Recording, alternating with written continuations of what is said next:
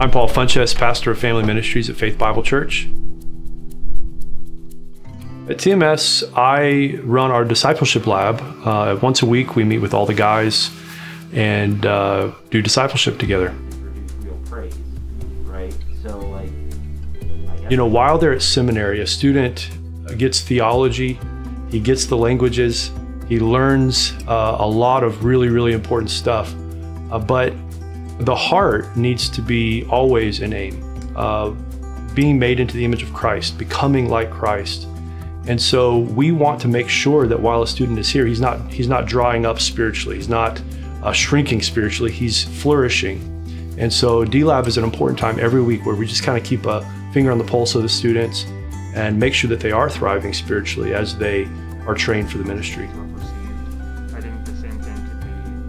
It's important to have people in your life, uh, professors and teachers and pastors in, involved in your life who can do those evaluations of you and your character and make sure that uh, that those desires to be a pastor again are good but that you are indeed a man that um, can be an example to the flock in word and conversation and faith and purity.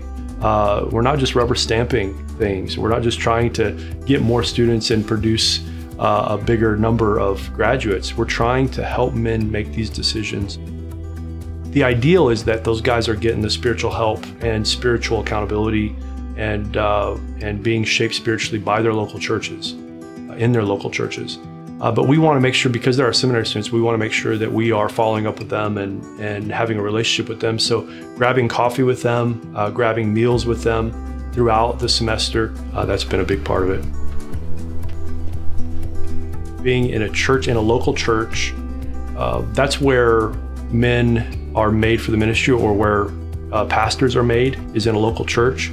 And so to see the connection between seminary and the local church, it's not set off somewhere and you know separated. We, we really work very closely with the local church here, and these guys are all involved in their own local churches, and many of them here at Faith Bible Church. To see them uh, really grow in their competency and in their love for Jesus uh, in local church context, that's really been a highlight. I think uh, I can I can think of a couple guys specifically who are uh, neck deep in ministry here at Faith Bible Church, uh, who have really grown. I've watched them grow uh, in their understanding of the scriptures and their ability to teach it and their ability to apply it to people's lives.